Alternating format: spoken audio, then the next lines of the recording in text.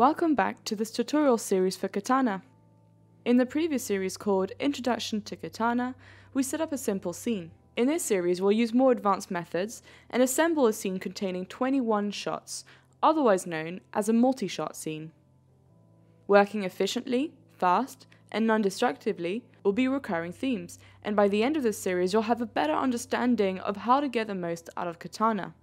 Before we begin, you can download the assets for the series on the Foundry Learn page to either follow the tutorial as you go along, or to play around with the scenes. First of all, setting up a folder structure in your project is critical for storing work and makes your life a lot easier. Make sure every asset has a place in a project folder, especially if you frequently iterate your work. You'll really want a structure that enables you to manage, version, and share assets easily. Now look into the project folder. We've broken down the following elements for this example. The Assets folder contains assets for this project. Any asset imported on a per sequence basis, such as the environment, is kept here, along with other modeled assets or scenes. Your Episodes folder stores the sequence for the project. We split the Alembic files according to shots. Any animated props, characters, cameras will be kept in these folders. All the naming conventions for the assets are consistent, to enable us to manage them in the Katana scenes easily. The master folder is where we'll keep the Katana project files. Now that we've had an overview of the project organization, let's start setting up the Katana project. The first step is to launch Katana. We now have an empty scene, and we will save it in the folder structure. Click File, Save As, and within your project directory, name this Modcast SOS VO1. This is the name of the sequence. We're giving it this name since it'll hold all the shots for this sequence. Let's import the assets for the first shot. Press Tab over the node graph and bring in either an Alembic in or an Importomatic node.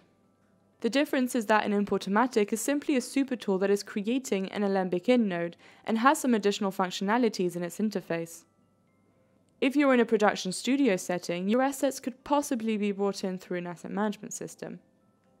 In the name parameter, classify this under geo slash chr. This is mainly for scene organization, and it will place the asset under this hierarchy in the scene graph. It doesn't really matter where it goes, as long as you keep consistency in your scenes. I've organized my animated Alembic files under this path. Let's bring in our first character, Brad, for the first shot. For the moment, this path is not set relatively. We'll go over a slightly more robust way than seen in previous series. You can use the path.join function to set a path that will be compatible across Windows and Linux. We'll walk through each part of this expression. Right-click on the parameter and set this to an expression. Type in project.dir. This takes us to the directory where the Katana project file is saved. The double dots takes you up a level in the folder structure. Let's go up two levels, and we are now under the mod 001 SOS folder level. It's in the first shots ABC folder where the Alembic files are. Once we've done this, the same ABC file will be called. The only difference is that it is now relative to the project, which means if you ever move the folder you're working in, all the paths will remain correctly set. Now that we've brought in our first asset, let's do the same for all the other assets for this shot. This includes the characters, props, and camera.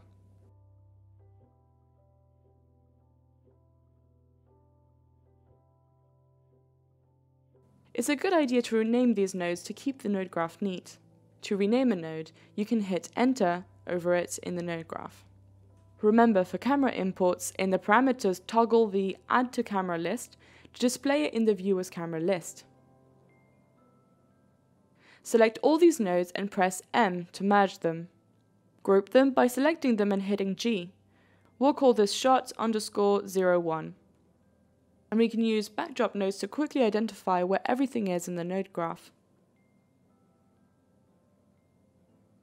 Now we brought in all the animated assets for this shot. Let's do the same for the environment.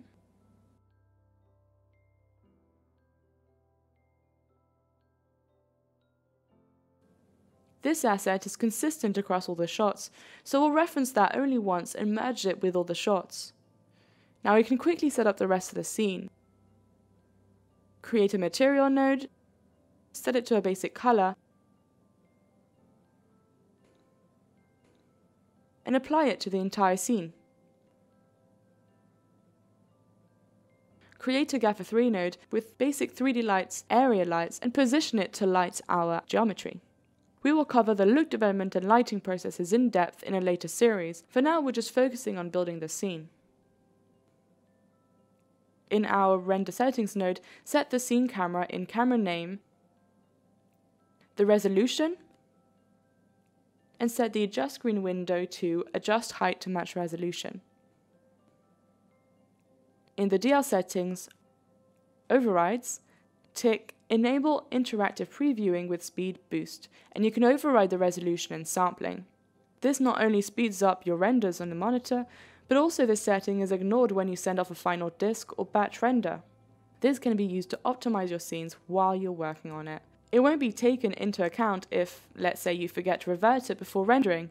That's a typical error that is made with a lot of tools, but with this feature, you'll never make this mistake again. The last step is to go into project settings and set in and out times on our shots. In preparation for this series, I've exported each Alembic to start at frame 1001. This is often done in studio productions because shot durations change frequently. Launch a preview render. We should see all our assets for the first shot.